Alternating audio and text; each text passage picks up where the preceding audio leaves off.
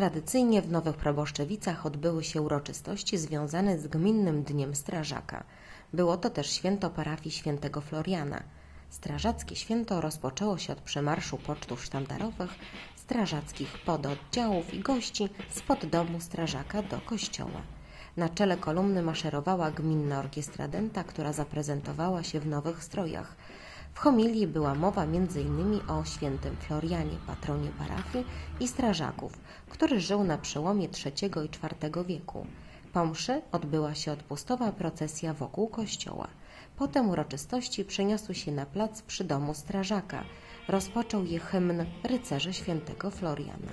Z tej też okazji chciałem wszystkim druhnom i druhom e, z Ochotniczych Straży Pożarnych i z terenu gminy Stara Biała i z terenu e, gminy Bielsk, tutaj również są jak gdyby współgospodarzami, bo należą do e, parafii proboszczewi, złożyć jak najlepsze życzenia. Dużo odwagi, męstwa, poświęcenia e, właśnie w wyratowaniu e, mienia, niekiedy zdrowia i życia swoich współmieszkańców.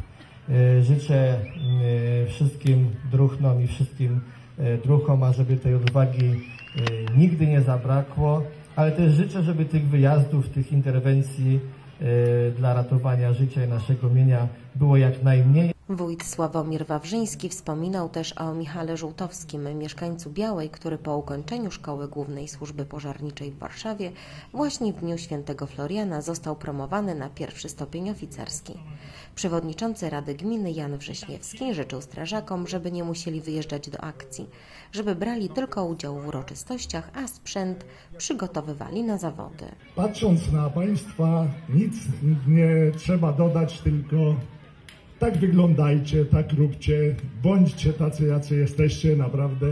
Piękniejecie, wszyscy pięknieje orkiestra, pięknieje straż, pięknieje cała nasza gmina, a ja będę chyba nieskromny trochę, albo i skromny, że jednak to dzięki temu, że mamy bardzo dobrego gospodarza, którym jest pan wójt Sławomir Wawrzyński, no i super radę i radnych w ogóle z gminy, całej gminy.